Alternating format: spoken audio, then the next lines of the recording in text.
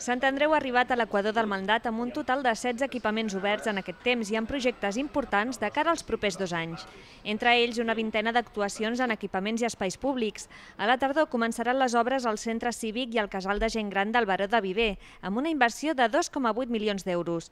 També es reurbanitzaren les places de la Mainada i Assemblea de Catalunya i s'encetaran els treballs per rellençar el canòdrom. Amb l'ICUP s'ha treballat precisament perquè s'hi desenvolupi el que seria un viver d'empreses, de, empreses de l'àmbit cultural, de l'àmbit artístic, seria el nostre Barcelona Activa Cultural. Aquestes actuacions se sumen a les fetes fins ara, com la posada en marxa dels equipaments situats a l'antiga caserna de Navas, els que ocupen la fàbrica de Fabra i Coats o el nou equipament juvenil de la Sagrera. Hem fet una presentació sobretot d'infraestructura, d'inversió de pedra, però que lògicament la pedra si després no li donem o no la dotem d'un contingut i d'un servei dirigit als veïns i a les veïnes es queda amb no res. Aquesta és l'altra part.